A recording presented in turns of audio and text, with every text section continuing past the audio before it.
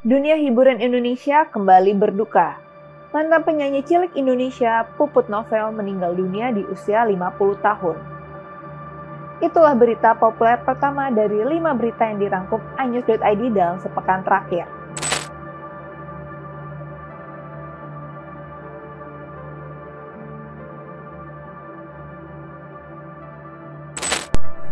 Mantan penyanyi cilik Indonesia yang populer di era 80-an meninggal dunia pada Minggu 8 September 2024. Ia mengembuskan napas terakhir karena penyakit kanker yang dideritanya sejak 2021 lalu. Kabar duka ini disampaikan oleh Ruli Siahaan Manajemen melalui pesan yang dibagikan kepada media. Sebelumnya, Puput sempat dirawat di Rumah Sakit MMC Kuningan, Jakarta Selatan selama tiga hari. Jenazah Puput telah dimakamkan di TPU Sanjaya, Kebayoran Baru pada Senin pagi 9 September 2024. Berita populer kedua, pelatih timnas Arab Saudi Roberto Mancini puji timnas Indonesia usai tahan imbang Arab Saudi di matchday pertama putaran ketiga kualifikasi Piala Dunia 2026 zona Asia.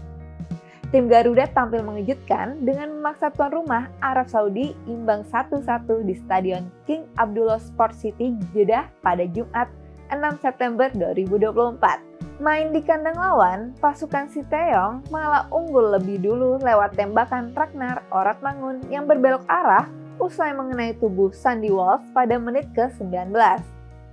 Sayang, timnas Arab Saudi justru bisa membalasnya lewat sepakan Musab Al-Juwair yang juga berbelok arah mengenai badan Calvin Verdong.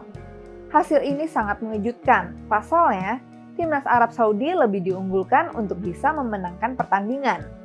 Mancini pun memuji kualitas pemain timnas Indonesia dengan menyebut betapa sulitnya meladeni tim Garuda di pertandingan ini. Hasil imbang ini membuat Arab Saudi berada di posisi 3 dengan satu poin, sedangkan timnas Indonesia duduk di urutan keempat. Timnas Indonesia akan menjamu Australia di Stadion GBK Jakarta pada Selasa 10 September 2024. Berita populer ketiga. Polisi menangkap empat pelaku pembunuhan siswi SMP di Palembang. Satu di antaranya adalah mantan pacar korban. Ironisnya lagi, tiga pelaku masih berusia di bawah umur. Mayat gadis penjual balon ini ditemukan di sekitar areal TPU Talang Kerikil dalam kondisi memakai pakaian olahraga. Adapun keempat pelaku masing-masing berinisial IM, AF, VK, dan NL.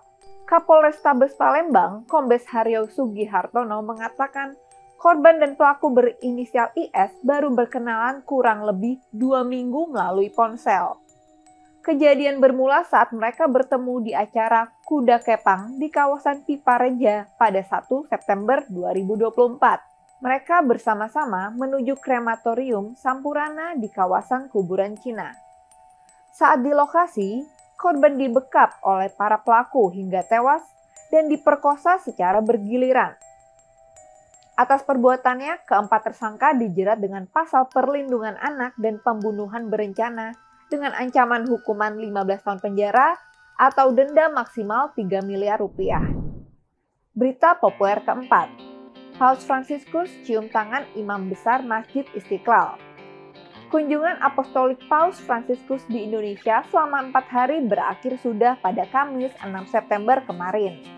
Kehadiran pemimpin tertinggi gereja Katolik sedunia itu membawa sukacita dan mengobati kerinduan umat Katolik di Indonesia. Paus juga meninggalkan banyak kesan mendalam dan momen tidak terlupakan selama kunjungannya di Indonesia. Tak hanya bagi umat Katolik, namun seluruh masyarakat Indonesia.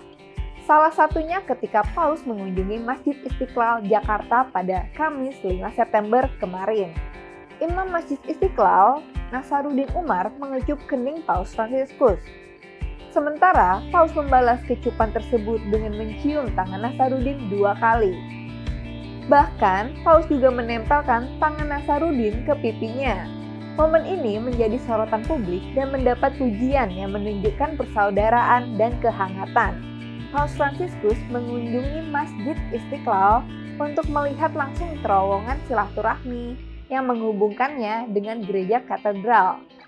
Paus Fransiskus mengaku kagum dengan terowongan yang menjadi simbol semangat persahabatan, kerukunan, dan persaudaraan itu.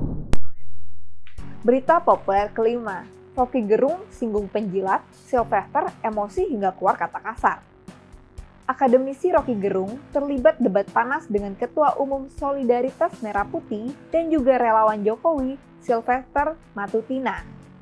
Momen ketegangan tersebut terjadi saat keduanya menjadi narasumber di program Anyus Rakyat Bersuara bertajuk Banyak Drama Jelang Pilkada, Kenapa?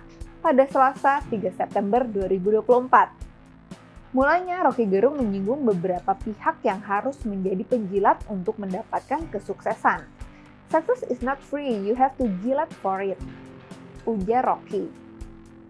Pernyataan itu membuat panas Sylvester, dia menegaskan pihaknya bukan penjilat. Sylvester kembali berdebat dengan Rocky Gerung yang dinilainya tidak berguna bagi Indonesia. Tak lama kemudian, Sylvester menghampiri Rocky. Rocky juga mendekat dan berdiri di sampingnya. Pada saat itulah, Sylvester mengeluarkan kata-kata kasar kepada Rocky, sementara Rocky merespon dengan tetap tenang. Itulah 5 berita populer iNews.id yang kami rangkum dalam sepekan terakhir. Baca terus inews.id untuk mendapatkan berita-berita inspiratif dan informatif. inews.id, ini baru berita.